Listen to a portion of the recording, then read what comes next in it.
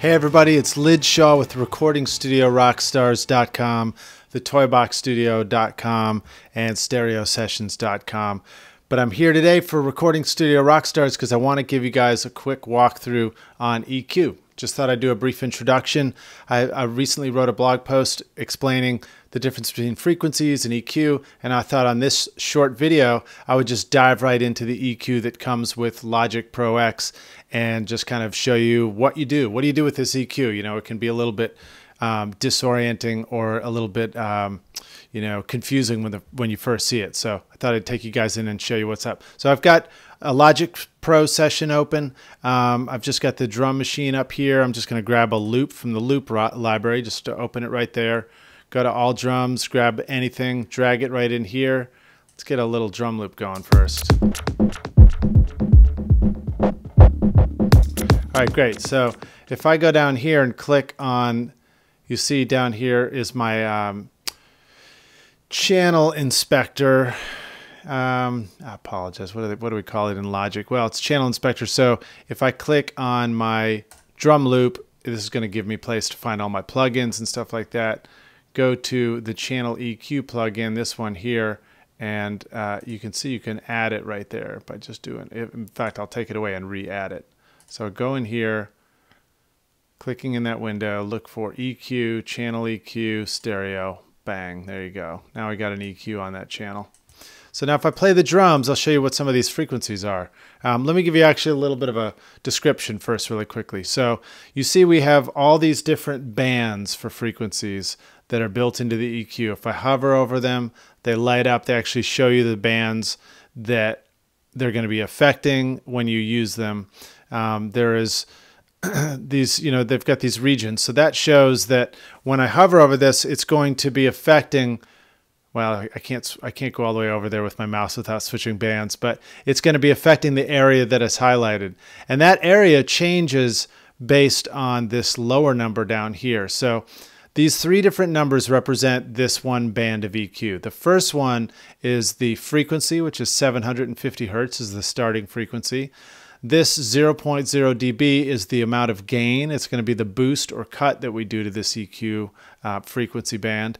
And then this bottom one here is the Q or the quality of the frequency um, that band that we're EQing. If it's a high quality, it's going to be a very narrow uh, EQ and you can see it's shrinking the range that it's going to be EQing. If it's a low quality, it's going to be a lower number and it's going to be a wider band of EQ. Okay, so what does all this mean? I know this is still a little confusing. Let's grab this dot. What they do is usually on a graphic EQ like this, where they have a whole graph laid out. On the left-hand side, you have low frequencies, and on the right-hand side, you have high frequencies. So if you go in here and grab one of these dots, this is going to be the center band for this EQ frequency. Um, so if you bring it up, it does a couple of things here. It actually boosts the EQ at that center band, which right now is 750 still, and it has increased the Q. Let me see if that increases and decreases with the boost. Okay, so the Q's staying the same. It looks narrower because it's getting steeper and steeper, uh, but the, the actual Q has stayed the same. And you see what happens is I boost this going up, I'm going to boost the level at 740 hertz. If I bring this down, it's going to cut the level at 750 hertz. I moved it a little bit. If you move it left and right, it just changes that frequency number from 730 up to 790 there. And then again, this Q, as I click on this number and I increase the Q, it makes it narrower and narrower. If I decrease it, it makes it wider. So what is again, what does that all, all that mean? Let's play the drum loop and let's see what kind of effect it has on it. So I'll boost the 780, 800. You can hear it starts to affect that middle. If I sweep it up and down, you really hear the effect it has on the different frequencies. You hear that?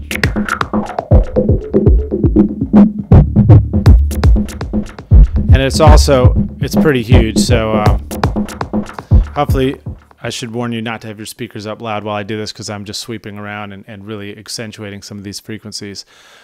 But the point is also this band, even though it starts in this middle band, I can send it way down low if I want to. I can send it way up high. Different EQs give you different limitations on this.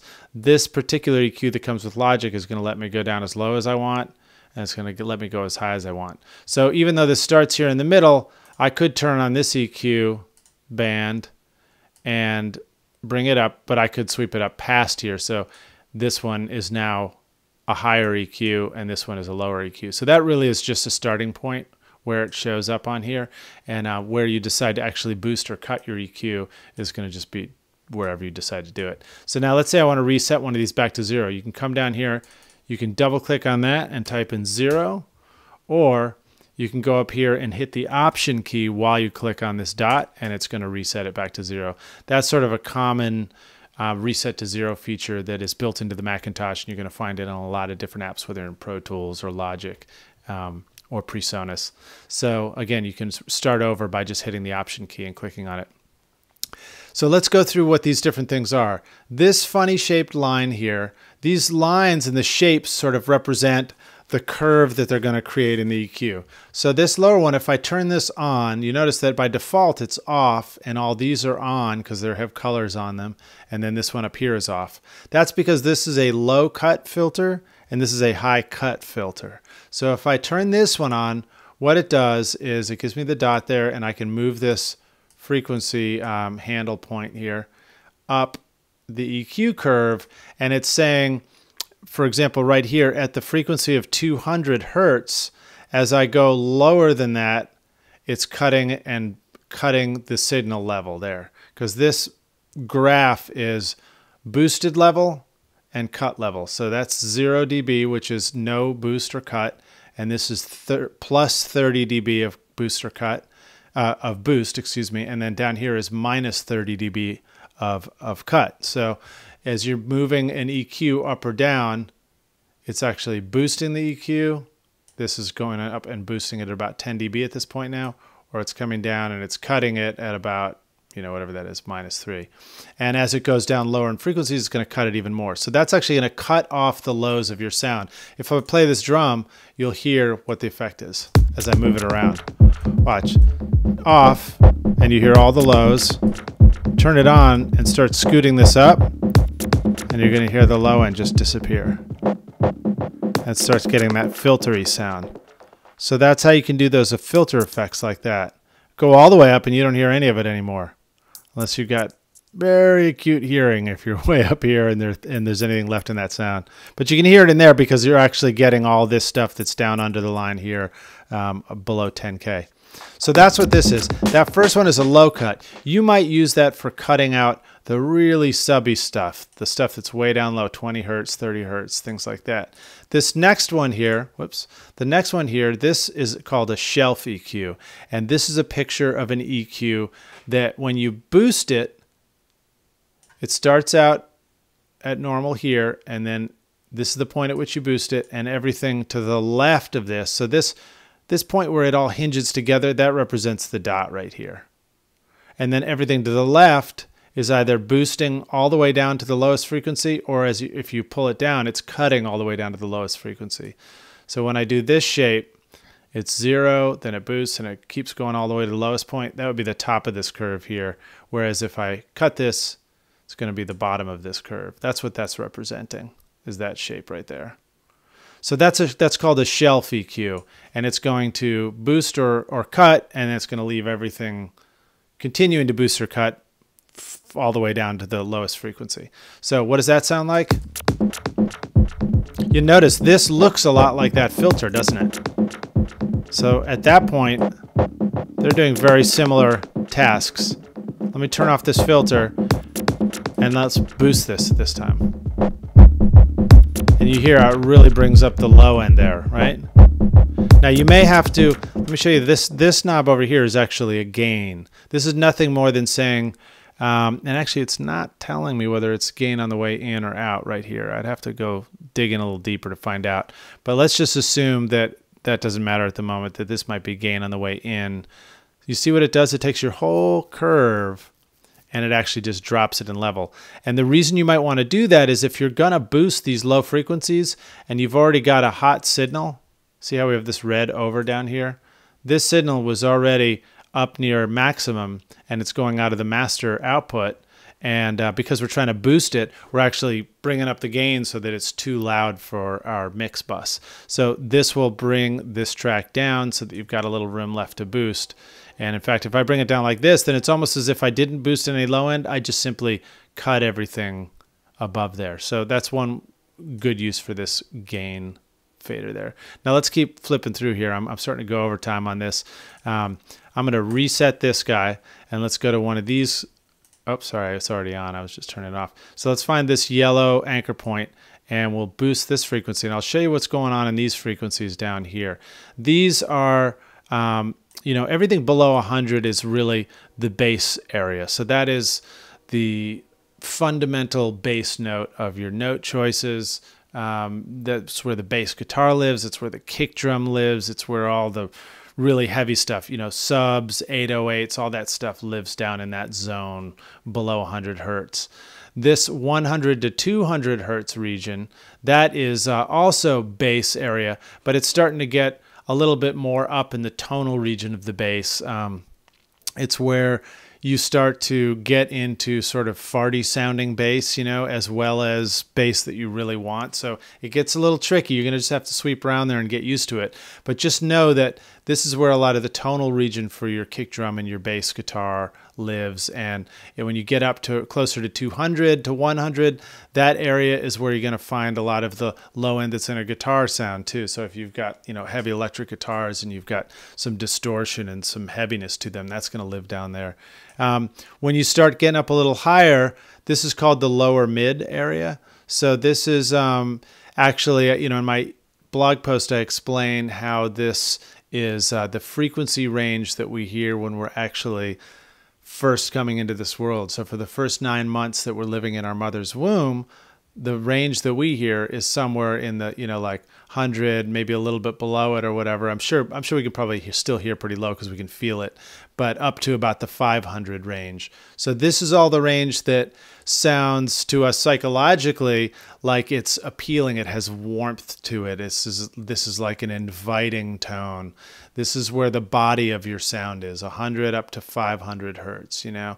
That that zone maybe even a little lower than 500 a little more like 300 400 that's really the body and literally that's what you hear coming through your mother, mother's body when you're in the womb. So it makes sense that we would be pre-programmed to find that sound appealing. Now at the same time that's also known as the muddy area. So the frequencies around 200 um, they tend to be an area where your your mixes, your music can, if you have too much stuff accumulating there, it can make it sound uh, muddy or just cloudy, like there's like it's not defined and doesn't have clarity and punch to it. So that's a zone you got to watch out for. Um, there's also like when you get up to the 250 range, that's where you start to have some of the body uh, of a snare drum, for example, which can, of course, go lower. You can have 100, you can really feel it down there. But like a lot of sort of old school rock and roll, you know, you're going to find snare drum action is in the 250 range. So that's a great frequency to put a little bit more volume and size into your snare drum for the close mics that is.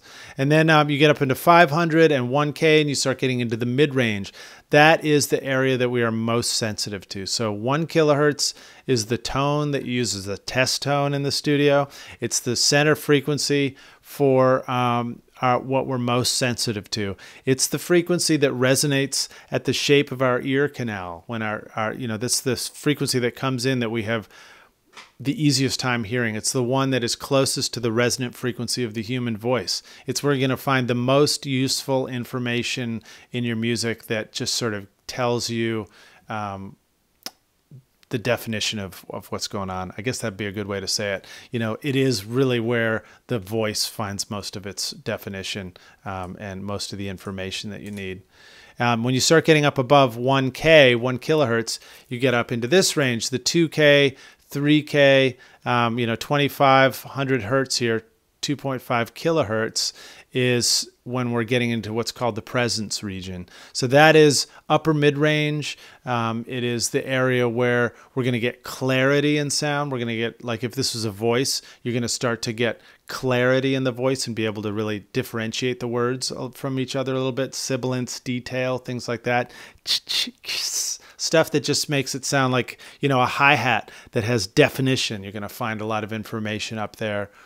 Um, so if you're looking for just a little bit more clarity in whatever your sound is, whether it's um, definition of the pick of a guitar, whether you're starting to get up into where the beater attack is on a kick drum, for example. Actually, you're going to find some of that information up in this high frequency.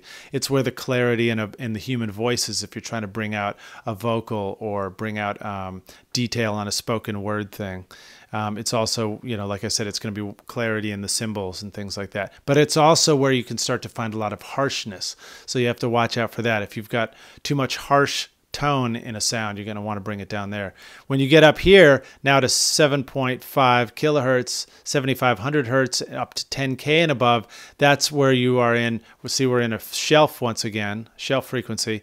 And this is where you have a high frequency and you can really boost high, high cymbals and the air and the space, um, the stuff that makes it sound a little more high high fidelity and like um, it, it will. It's the frequency range that might make your speaker sound like it's got clarity to it and not dull or like it has a blanket over it. I'll play this drum loop and show you the difference there. It's it's a excuse me. It's also just where you find the treble knob on your car stereo. You know that's that's up in this zone.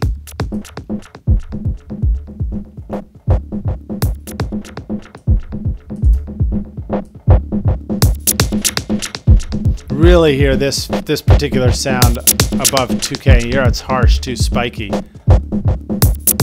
So that's really, you know, you can hear those high frequencies, but it starts to put a, a harsh, aggressive tone in it. Sometimes you can boost highs and then just cut them again.